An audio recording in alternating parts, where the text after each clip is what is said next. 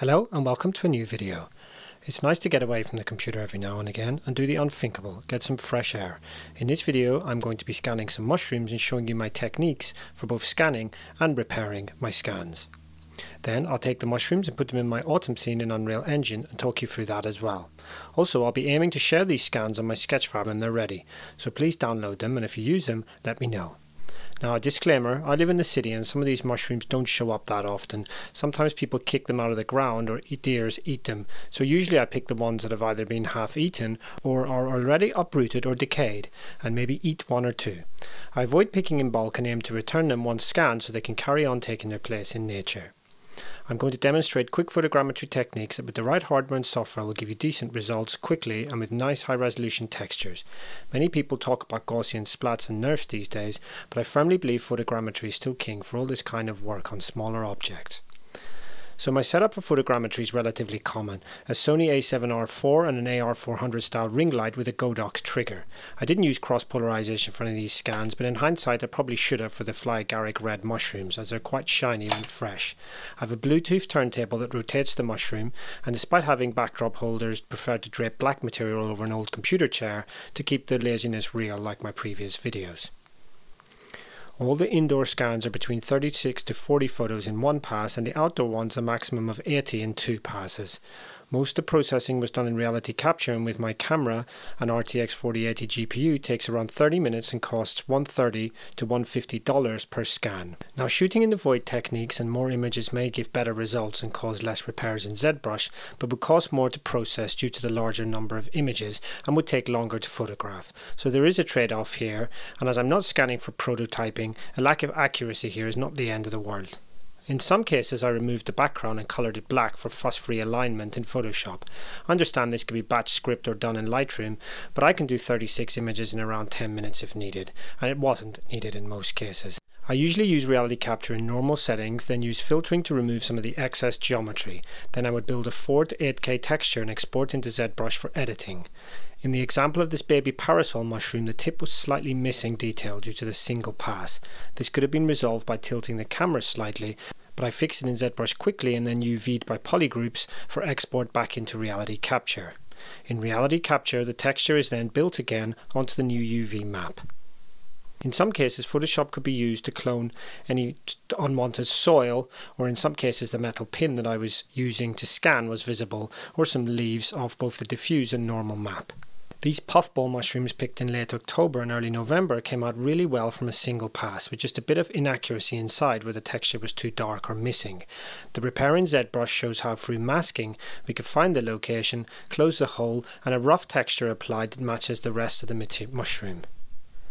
It's actually quite hard from any angle to see this, and it suffices for the short sequences I wanted to make.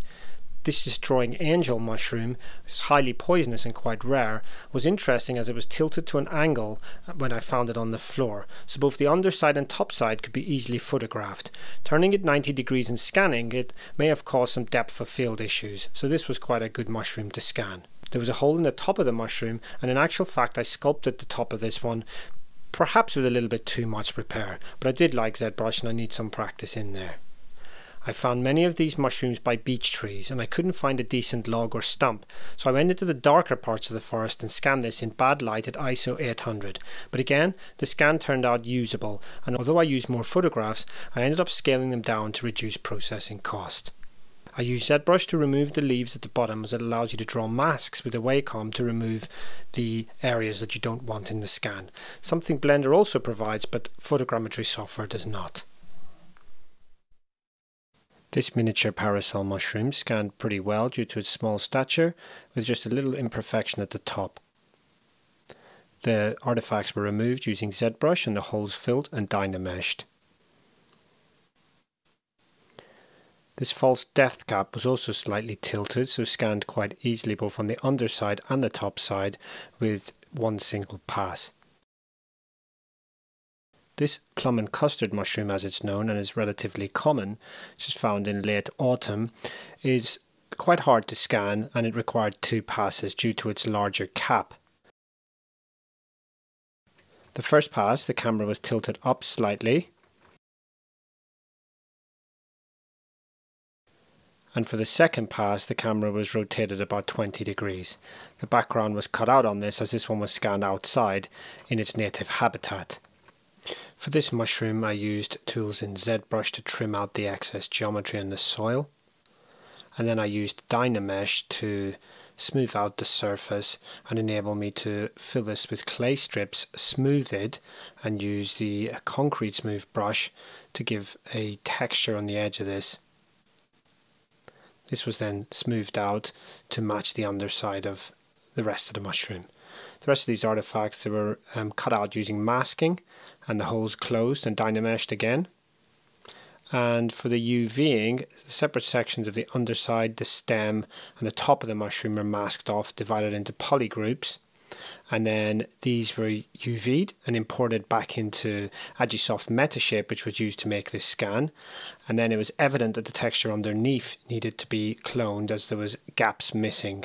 Again, there was probably going to be better ways of doing this mushroom, but this video is really more about fixing those scans, especially with this one where I was out on the field and I couldn't pull it out. So I had to really make do with what I could here. The scan was imported back into Blender and it was straightened and the pivot applied and scaled and then it was imported into Unreal Engine where I simply applied a normal map, a normal strength in the material and a diffuse. Now that we have all our completed scans, or incomplete in some cases, we're ready to look at the Unreal Engine workflow. So for the landscape I used the excellent Joe Garth Brushify Environment Shaders pack and I sculpted this using the landscape tool.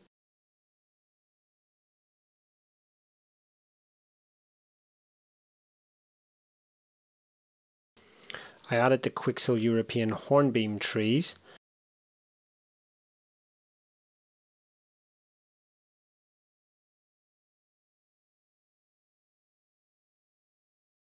And this scene is supposed to be sort of early November. It's just taken me a while to edit the video.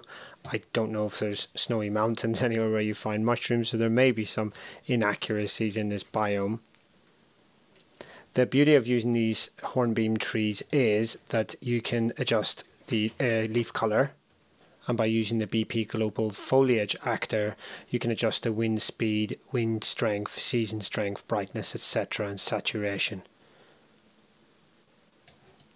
I have another video on this if you want to look at it.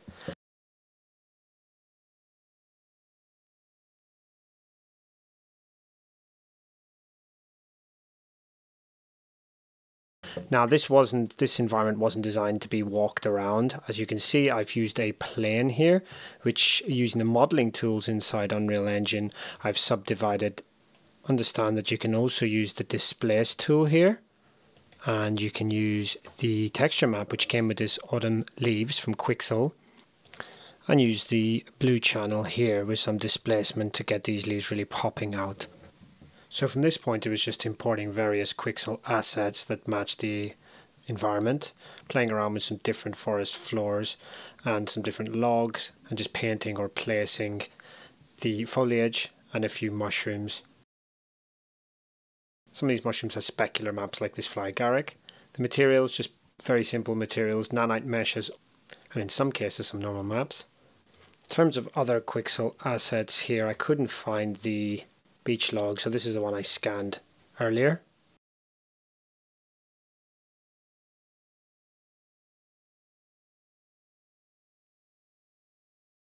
And the mushrooms clumped together randomly in front of cameras.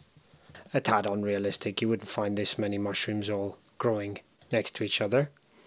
I've generally used 24mm on the camera and a close focus distance and a small aperture to get the depth of field effect.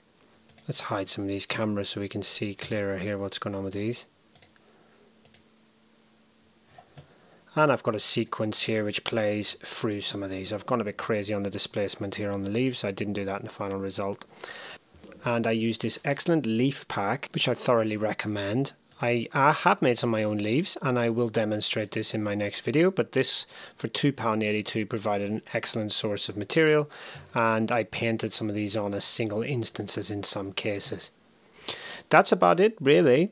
Uh, if you like what you saw, subscribe, hit me up with any comments, watch the rest of my videos and thank you for watching.